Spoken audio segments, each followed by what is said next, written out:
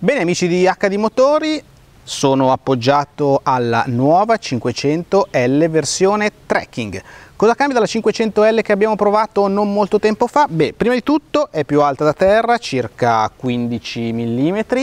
poi ha protezioni al sottoscocca per evitare che una strada bianca che con questa 500L Trekking possiamo tranquillamente eh, percorrere, quindi sassi eh, o qualsiasi tipo di problematica rovini gli organi meccanici inferiori e poi soprattutto Fiat la dota già di serie di, più, di pneumatici M più S ma che comunque vanno bene per tutte le stagioni. Noi abbiamo la versione 1600 Multijet da 105 cavalli, disponibile anche il 1300 Multijet eh, che è disponibile anche col cambio automatico oppure due versioni a benzina, il bicilindrico Twin Air che abbiamo imparato a conoscere nella prova che abbiamo fatto della eh, 500L e il 1400 sempre benzina. Davanti a una griglia che è leggermente più aggressiva della 500L L standard, posizione di guida un pochino più ehm, rialzata, anche al posteriore abbiamo delle finiture eh, specifiche per questa versione, ma adesso andiamo a vedere come va su strada e anche su un piccolo pezzo di fuoristrada. Bene, allora eccoci al volante della 500L Trekking, vi ho parlato prima di altezza del suolo diversa, vi ho parlato di differenze estetiche rispetto alla 500 standard, noi stiamo provando la versione 1.6 diesel multijet e devo dire la verità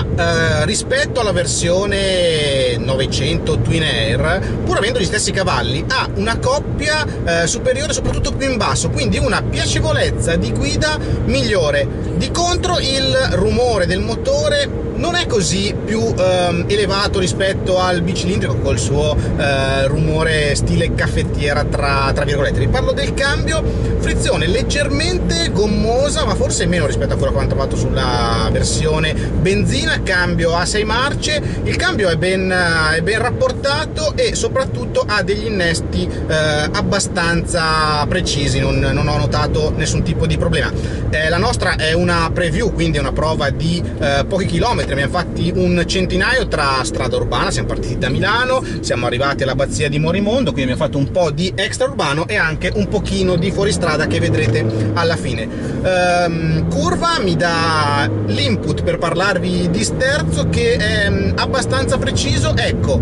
eh, alle medie alte andature si sente quel rialzo rispetto alla L standard ma soprattutto è la gommatura M più che dà un senso di eh, maggior gommosità del volante. Comunque proprio un'inezia, si guida molto facilmente soprattutto in città grazie al tastino City che permette di alleggerire molto il eh, volante, volante che eh, ha degli ottimi comandi perché sono raggruppati sulla destra e sulla sinistra, sulla sinistra eh, inizio fine chiamata e volume, sulla destra il comando dell'infotainment. Infotainment che è lo Uconnect di ultima generazione e ha finalmente il TomTom eh, integrato, quindi una buona navigazione perché TomTom è uno dei migliori, anche una buona eh, velocità, oltre a darci tutti i parametri eh, della guida, la radio e leggere chiavette USB esattamente come eh, sulla trekking, su, scusate, sulla 500L ehm, standard. Vi parlavo del motore, allora consumi, beh, eh, noi in questi 100 km abbiamo provato ad azzerare il trip, quindi è un dato, eh, prendetelo con le pinze, in media lo abbiamo usato un pochino più del normale perché durante i test drive si schiaccia leggermente più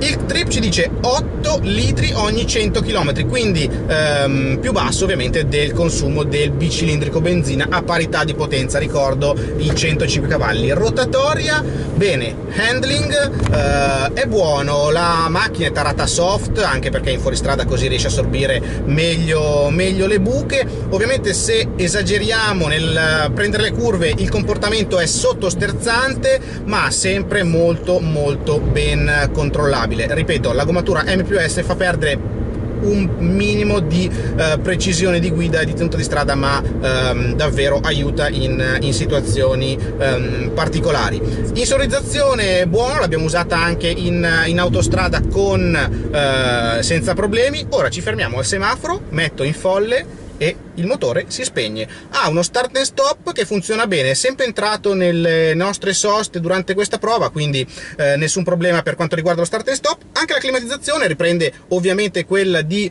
Um,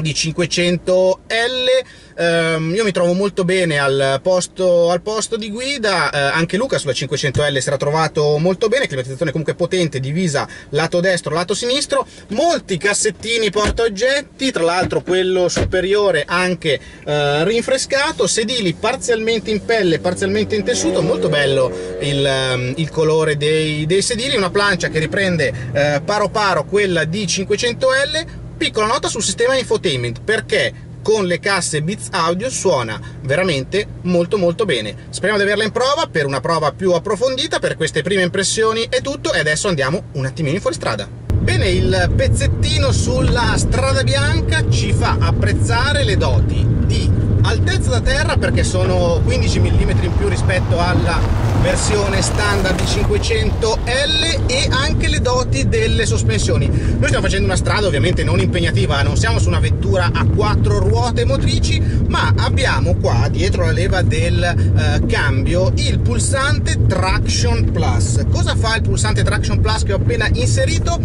Quando sente che una delle due ruote motrici anteriori sta per perdere grip, sposta la coppia all'altra ruota anteriore così facendo eh, una ruota magari ha più grip dell'altra e si riesce a uscire magari anche da eh, situazioni più ehm, impegnative. Qua abbiamo un collega che salutiamo test drive eh, cumulativo per, ehm, per noi giornalisti stiamo facendo un centinaio di chilometri. Altra cosa che differisce da um, questa trekking rispetto alla versione diciamo standard tra virgolette è la um, possibilità di avere montare di serie i pneumatici M più S. Uh, pneumatici M più S che garantiscono anche in questo caso di strada bianca un maggior grip. Ovvio è una strada che potremmo fare con qualsiasi uh, berlina non troppo bassa ma comunque si apprezzano anche le sospensioni perché le sospensioni di questa uh, trekking sono studiate per assorbire un po' meglio le asperità. Altra differenza rispetto alla 500L standard la protezione del sottoscocca quindi eh, anche in questa,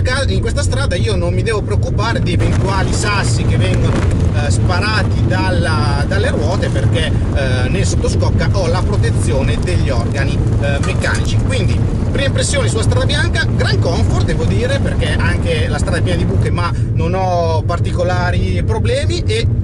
soprattutto un, un, grip che mi sembra buono. Adesso su questa strada provo a accelerare a fondo e sento come il traction più eh, distribuisce la coppia sulle ruote anteriori per farle slittare il meno possibile. Per HD Motori Andrea Galeazzi